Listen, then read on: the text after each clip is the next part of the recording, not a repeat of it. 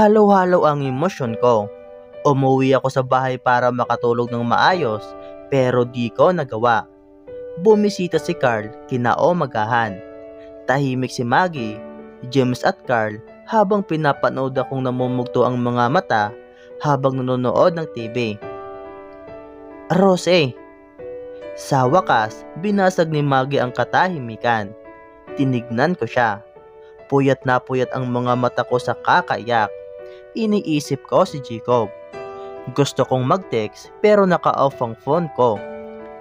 Hindi ko magawa kasi alam kong kagabi puno yun ng hit messages galing sa kung kani-kaninong number. Tingin ko pa ka na yon ni Bale, traidor. Sigurado ka na ba? Hindi ka man lang ba magpapaalam kay Jacob? Tanong ni Maggie. O humiling ako. Di na, mas mabuti yung ganito. Tumulo yung luha ko. Rose, ilang beses na kayong nagkasakitan. Please naman, sa ngayon, ipaliwanag mo sa kanya kung bakit ka lalayo. Maiintindihan niya yon, Mag. Kung okay na siya ngayon, nakakapag-isip na siya ng maayos, pagsasabihan din siya ng ate ni Calix. Sisiraan ako nun panigurado at mag-iiba na naman ang ihip ng hangin. Sigurado akong maniniwala na naman siya. Mag, walang tiwala si Jacob sa akin. Napaikbi ako sa sinabi ko. Gold digger, yun na naman ang isyo. Rose, di naman siguro ganon si Jacob. Sabi ni Carl. Nagawa niya ito noon, magagawa niya ulit ngayon. Sabi ko, pinaglaban ka niya, muntik na siyang mamatay sa mga suntok ni Calix para sa'yo. Imposibleng ganon. Sabi ni Carl. Ah, Mage, Rose, may tao sa labas. Sabi ni James na kanina patahimik at nakikinig sa amin. Napatingin kaming lahat sa labas. Tama si James, may tao nga. Kinabahan ako. Sa sobrang kaba ko, gusto ko nalang magtago o tumakbo sa malayo o di kaya lamunin ng lupa. Naaninag ko ang hammer ni na Jacob sa labas. Oh my gosh! Sabi ko, pinagkakaguluhan nito ng mga kapitbahay namin dito sa apartment. May biglang kumatok sa pintuan. Binuksan nito ni James. Nandito ba si Rose Aranwais? Tanong ni Don Juan Antonio Buenaventura, ang daddy ni Jacob. Bago pa siya nasagot ni James, nagkatagpo na ang aming mga mata. Nanlaki ang mga mata niya nang nakita ako. Pa, pasok po kayo. Pa, pasensya na po kayo dito sa apartment namin. Medyo magulo. Wala kasi kaming katulong. Litan niya ni Maggie habang kinukuha yung nakakalat na tuwalya at damit sa sofa namin. Ngumiti si Don Juan, ngiting nakakapagpaalala sa akin kay Jacob. Rose, pwede ba kitang makausap? Anya habang umupo sa sofa. Okay lang Maggie, huwag ka nang mag-abala. Sabi niya kay Maggie nang nakita niya itong naglilinis pa rin. Opo, sure. Sabi ko kahit na kinakabahan. Okay lang ba kung sa labas? Tanong niya. Napalunok ako. Opo, magbibihis lang po ako. At maliligo. Umalis na ako agad para maligo at magbihis ng medyo okay na damit. Minadali ko ang lahat kasi kinakabahan ako. Bakit ako gustong makausap ni Don Juan? Okay naman yung disposition niya. Siguro din niya naman ako huhusgahan. ba? Diba? Kasi kung huhusgahan niya ako, sa pintuan pa lang sinigawan niya na ako. Pumunta kami sa isang malapit na coffee shop. Sa kasamaang palad, ang coffee shop na ito ay tambayan ng ilang estudyante sa school namin. Malapit lang kasi ang apartment sa school kaya di maiiwasang makapunta sa mga lugar na maraming schoolmates. Pero okay lang kasi sandi naman ngayon at mukhang iilan lang ang nandito. Hindi po ako o-order. Sabi ko. Tumango siya at nag-order ng sa kanya at ng para sa akin. Napabuntong hininga siya bago magsalita.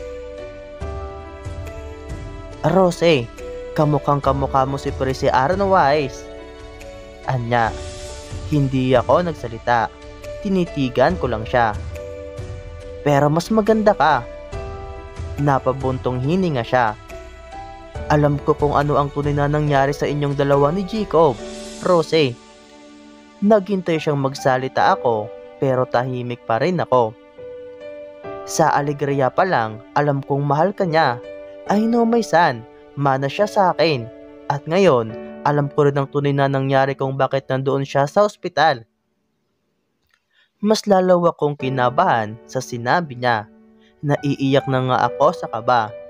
Anong sasabihin niya? Nalayuan ko na si Jacob?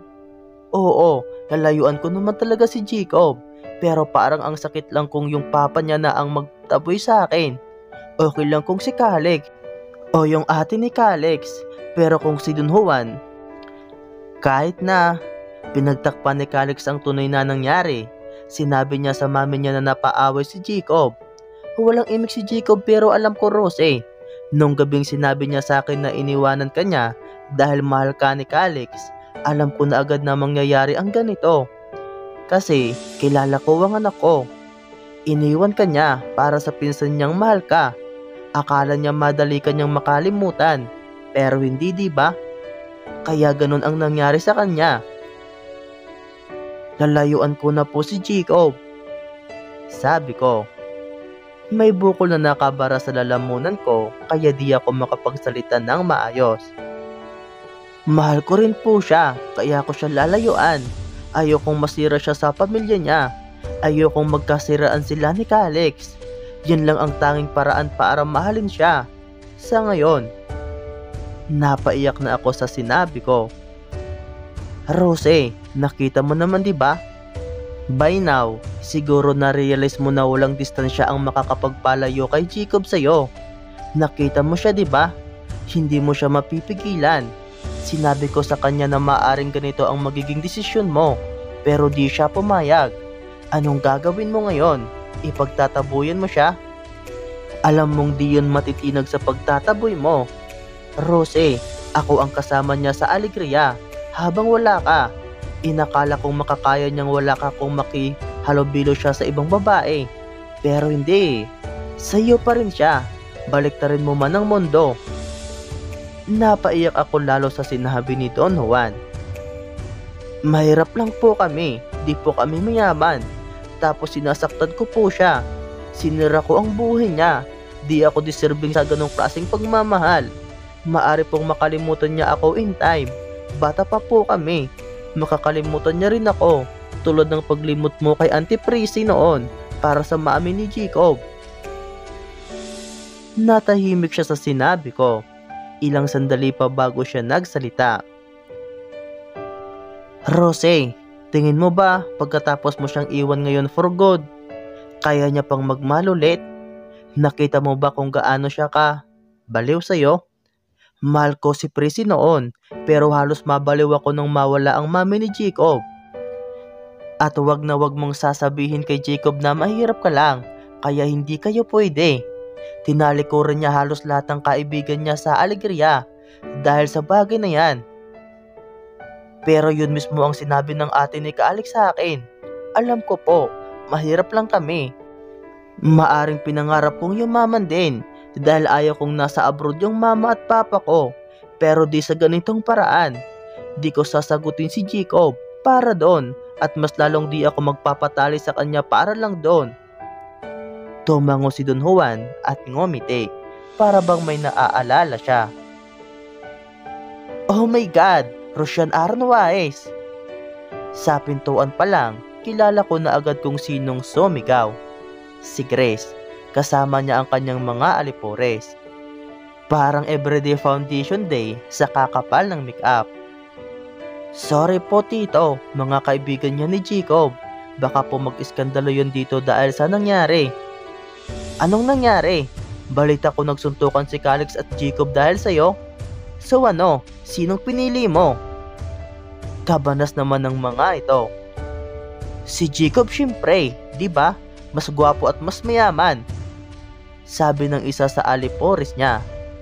Wala akong pinili at di ako pipili. Sabi ko, nagtawanan sila at narealize nilang di ako nag-iisa. Nakita ko sa mukha nila ang pagkabigla sa nakita nilang kasama ko. Hindi nila kilala ang daddy ni Jacob kaya malamang pagkakamala nilang boyfriend ko ang daddy niya. Oh my God! Don't tell me!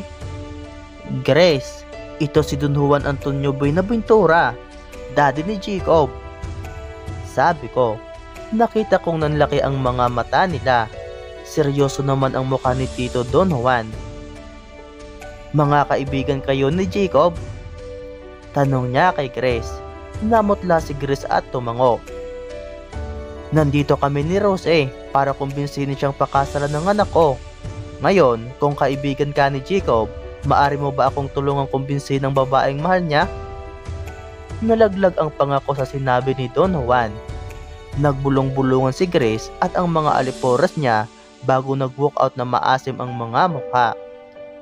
Sorry Rose. Tumawa si Don Juan. Pero po, mas lalong magkakagalit si Calix at Jacob sa ginawa nyo. Sabi ko, habang tinatapos ko ang salita kong iyon, nanlaki na ulit ang mga mata ko nang nakita ko kung sino ang nasa likuran. Wala akong pakialam Rose. Napatayo si Don Juan nang narinig niya ang anak niya sa likuran. May kasta kami ni Jacob at maiilang banid sa mukha. Namamaga ang kaliwang pisngi nito. Halos maiyak ako nang nakita ko siya. Para sa akin, ganito, ganito ang mangyayari sa kanya. Jacob, tumakas ka ba sa ospital? Tanong ni Don Juan. Binaliwala siya ni Jacob. Kung iisipin nilang lahat na pira ang habol mo sa akin, ngayon pa lang, pinaparating ko na sa kanila na wala akong pakialam. Ibibigay ko sa iyo ng lahat ng gusto mo. Gagawin ko ang lahat. Wala silang pakialam kung anong gagawin ko dahil buhay ko to.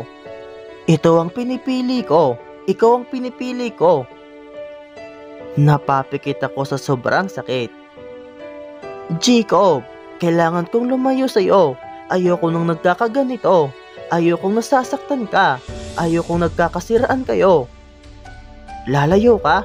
Mas lalo mo akong masasaktan sa gagawin mo.